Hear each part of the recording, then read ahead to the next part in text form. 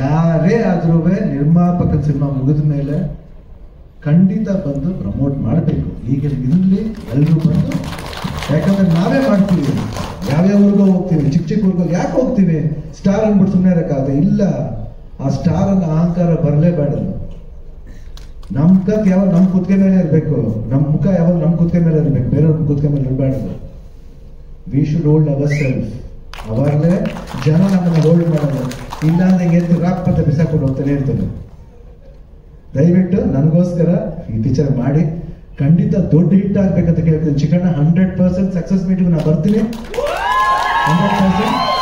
ಇಪ್ಪತ್ತಾರನೇ ತಾರೀಕು ನಾನು ನೋಡ್ತೀನಿ ಸಿನಿಮಾನ ಇಪ್ಪತ್ತಾರನೇ ತಾರೀಕು ಮೈಸೂರಿಗೆ ಹೇಳ್ತೀನಿ ಮೈಸೂರಲ್ಲಿ ನೋಡ್ತೀನಿ ಪಿಕ್ಚರ್ನ ಹಂಡ್ರೆಡ್ ಪರ್ಸೆಂಟ್ ನೋಡ್ತೀನಿ. ತುಂಬಾ ಇಂಟ್ರೆಸ್ಟಿಂಗ್ ಆಗಿದೆ.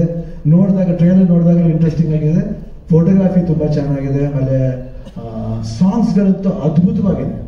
ಅರ್ಜುನ್ ಜೈನ್ಯ ನಿಜವಾಗ ನಮ್ಮ ಒಂದು ಕನ್ನಡ ಇಂಡಸ್ಟ್ರಿಗೆ ಒಂದು ಬೂನ್ ಒಳ್ಳೆ ಒಂದು ಆಶೀರ್ವಾದ.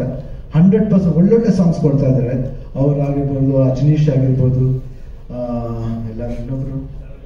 ಚರಣ್ ರಾಜ್ ಸಿಕ್ಕಾಪಟ್ಟೆ ಅಲ್ಲ ರವಿ ಬಸೂರ್ ಅವರು ಅದು ಸಿಕ್ಕಾಪಟ್ಟೆ ಅವರೆಲ್ಲರೂ ಇಂಡಿಯನ್ ಲೆವೆಲ್ ಹೆಸರು ಮಾಡೋ ಒಂದು ಮ್ಯೂಸಿಕ್ ಡೈರೆಕ್ಟರ್ ಆಗಿದ್ದಾರೆ ಇವತ್ತು. ಇವತ್ತು ಹಿಂದಿ ಎಲ್ಲೇ ಇವತ್ತು ತಮಿಳ್ ಪಿಕ್ಚರ್ನ ಶೂಟಿಂಗ್ ಹೋದ್ರು ಕೇಳ್ತಾರೆ ಅವ್ರು ಏನು ಸರ್ ಹಂಗೆ ಮಾಡಿದಾರೆ ಕಾಂತಾರ ಮ್ಯೂಸಿಕ್ ಅಜನೀಶ್ ಇರ್ಬೋದು ಎಲ್ಲರ ಹೆಸರು ತುಂಬಾ ಚೆನ್ನಾಗಿ ಮಾತು ಹೇಳ್ತಾರೆ. ನಮಗೆ ಬಹಳ ಹೆಮ್ಮೆ ಅನ್ಸುತ್ತೆ ಒಬ್ಬರು ಕನ್ನಡ ಸಿನಿಮಾ ಬಗ್ಗೆ ಎಷ್ಟು ಮಟ್ಟಿಗೆ ಇಂಟರ್ನ್ಯಾಷನಲ್ ಲೆವೆಲ್ ಮಾತಾಡ್ತಾರೆ ಅಂದ್ರೆ ಎಷ್ಟು ಮಟ್ಟಿಗೆ ನಮ್ಮ ಇದರಲ್ಲಿ ನಮ್ಮಲ್ಲಿ ಟ್ಯಾಲೆಂಟ್ ಇದೆ. ಆ ಟ್ಯಾಲೆಂಟ್ ನಾವು ಉಳಿಸ್ಕೊಂಡೋಗ್ಬೇಕಂತ ನಮ್ಮ ಕರ್ತವ್ಯ ಹೇಳ್ತಾ, ನಾನು ಮಾತು ಮುಗಿಸ್ತೇನೆ. ನಾನು ಇಲ್ಲಿ ಬಂದಿದ್ದರೆ ನಮಗೆ ನಿಜವಾಗ್ಲೂ ಹಂಡ್ರೆಡ್ ಪರ್ಸೆಂಟ್ ತುಂಬಾ ಸಂತೋಷ. ಇದೆ Umapathi ಚೆನ್ನಾಗಾಗ್ಲಿ. All the best everybody God bless thank you